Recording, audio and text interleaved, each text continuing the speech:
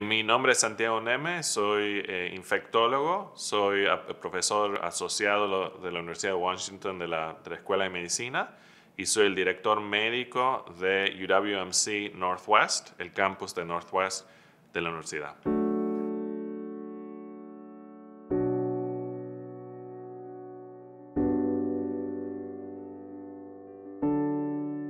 La viruela del mono en realidad se transmite por un contacto eh, directo entre piel y piel, un contacto prolongado principalmente. También se puede transmitir por secreciones respiratorias, es decir, por la tos, pero este, no es un, modo de transmisión eh, frecuente. Lo más frecuente es el contacto entre piel y piel y entre lesiones.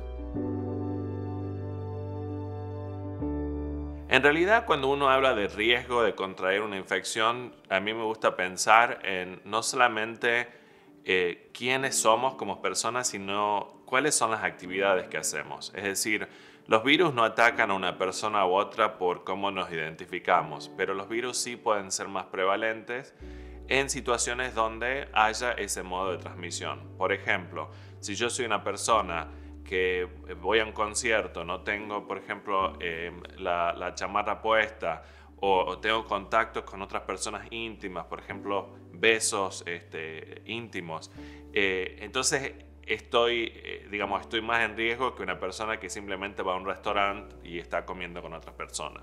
Es decir, necesito ese tiempo de exposición y necesito que haya un contacto íntimo entre e, la, persona que tiene esa lesión y la persona que no tiene la lesión. En general, en, infectología nosotros vemos que las personas que tienen problemas en el sistema inmune, eh, por supuesto van a tener más riesgos de tener una infección eh, más severa. Y ese grupo incluye a personas que eh, tienen un problema de inmunodeficiencia o personas que están embarazadas o niños. Pero quería volver, digamos, al modo de transmisión. Eh, en realidad, no, no, quiero decir que las embarazadas estén más a riesgo de adquirir la infección. Eh, si una, mujer embarazada eh, tiene situaciones de exposición como las que hemos hablado, entonces sí, pero no es una infección que estemos viendo mucho en embarazadas. La, la población en general que más vemos ahora, en la mayoría, son pacientes que se identifican como eh, hombres homosexuales o que tienen relaciones con otros hombres. Eso es lo, que estamos viendo principal y no quiere decir que esta sea una enfermedad gay o homosexual, simplemente tiene que ver con lo que hace la persona y no quién es la persona. En general, eh, las infecciones de eh, viruela por viruela del mono son, digamos, se autolimitan pero hay situaciones donde realmente tenemos que evaluar para el tratamiento, que son si una persona tiene un problema de inmunodeficiencia, es decir, el sistema inmuno, inmune está eh, bajado. Si una persona tiene muchas lesiones, es decir, tiene muchas lesiones en varias partes del, cuerpo, lo que se llama diseminización. Y este, también si una persona tiene mucho dolor, desafortunadamente estas lesiones pueden ser muy, muy dolorosas y el, tratamiento puede ayudar. Y hay un tratamiento que es oral y un tratamiento que se da por vía endovenosa para, para aquellos que no pueden tragar.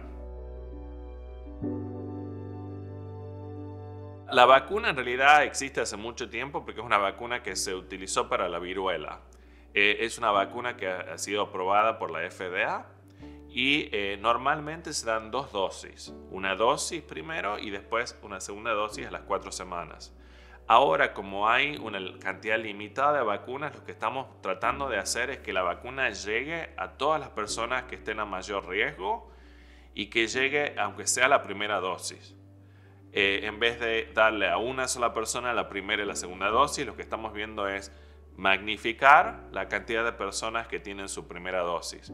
Y repito, eso tiene que hacerse en una manera este, lógica eh, y planeada porque quiero principalmente este, eh, vacunar a, esas personas que eh, tienen ese tipo de exposición, como estamos hablando del contacto directo.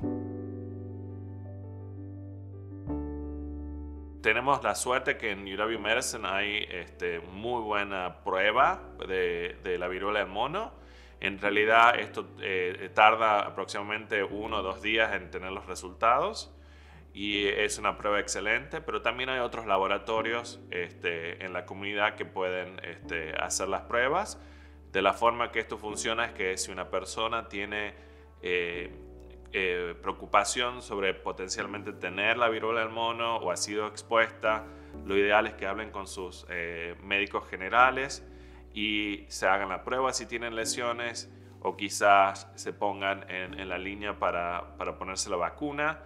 Eh, estamos ahora en un momento donde es muy importante que todas las personas este, confirmadas con la viruela del mono tengan la opción de una evaluación para el tratamiento y también aquellas que quieren este, vacunarse, eh, es muy importante tener esa, esa conversación.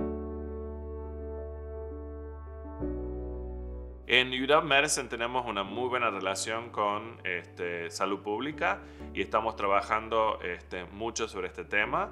Eh, actualmente nosotros en UW Medicine tenemos una forma de hacer la prueba como hemos hablado. También tenemos este, un sistema donde pacientes con eh, viruela del mono confirmado pueden eh, ser referidos a, este, a, nuestras clínicas para este, eh, tener la evaluación del tratamiento y estamos planeando este, amplificar la, la, vacunación.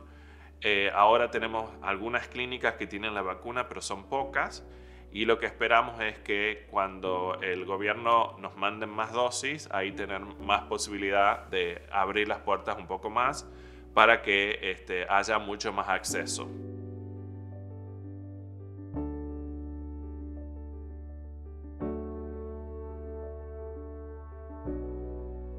Actualmente en el sistema tenemos este, un, plan que incorpora la parte de, como hablamos, de prueba o diagnóstico que tenemos este, disponible. También estamos tratando pacientes con, este, eh, viruela del mono confirmada y también estamos este, proveyendo este, información educación a los pacientes también. Entonces estamos trabajando en todas las, las, digamos, las fases de esto, desde la prevención a través de vacunas, desde la prevención a través de la información sobre qué tiene que hacer el paciente para este, prevenir la infección a otros, o sea, darle la infección a otros. Y, también estamos viendo la parte del tratamiento y, expandir la vacunación. Eh, creo que en las próximas dos semanas vamos a ver una amplificación de todo, eh, de todo el programa porque este, vamos, a ver, vamos a tener más dosis de vacunas, por ejemplo, y vamos a tener este, más capacidad de llegar a más personas.